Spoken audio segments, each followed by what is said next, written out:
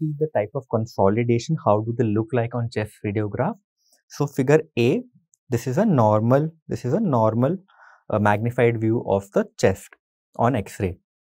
Whereas in the second image B, what do you see? You see these radio opacities in the lung and in between them you see these black black lines. These are air bronchograms, okay, air bronchograms and they tell you that it is an alveolar uh, pathology or a consolidation.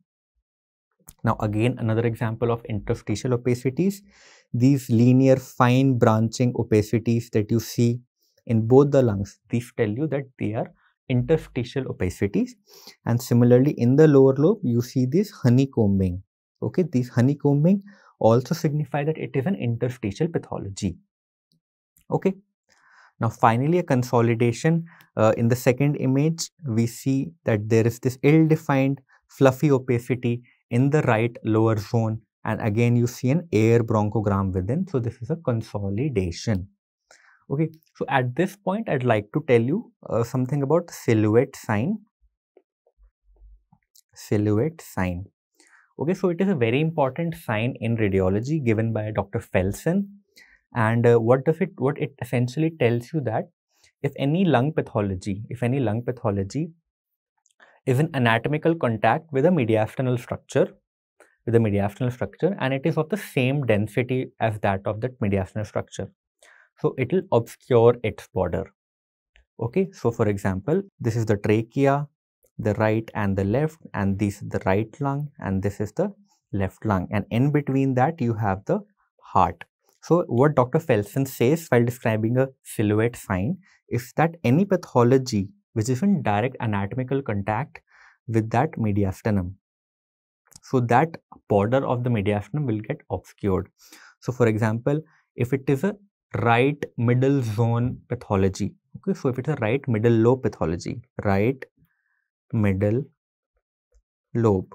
So we know that the right middle lobe is in anatomical contact with the right heart border. So any pathology of the right right middle lobe will obscure the right heart border, right? And if it is a pathology which is not in continuity with the mediastinum, it is not in contiguity with that mediastinal structure, it will not obscure its border. So for example, if it is again, if it is uh, again a pathology of the right lower lobe, a pathology of the right lower lobe. Okay, the right lower lobe extends upar tak, right? But in that case, it will not obscure the right heart border. And this is a very important sign. It tells you where the pathology actually is. So again, we'll see an example of this. We see that there is a consolidation in the right middle and lower zone, which is obscuring the right heart border. The right heart border is seen only till here. So it means that this pathology or consolidation is in the right middle lobe. Fair enough. Whereas in this first image, A image, we see that there are these fluffy, cloudy opacities coalescing into each other so this is a type of consolidation, right? Consolidation and it is obscuring the left hemidiaphragm. The left hemidiaphragm is not seen. Whereas, whereas the left heart border is seen. Okay, so it means that this pathology or this consolidation is in the left lower lobe.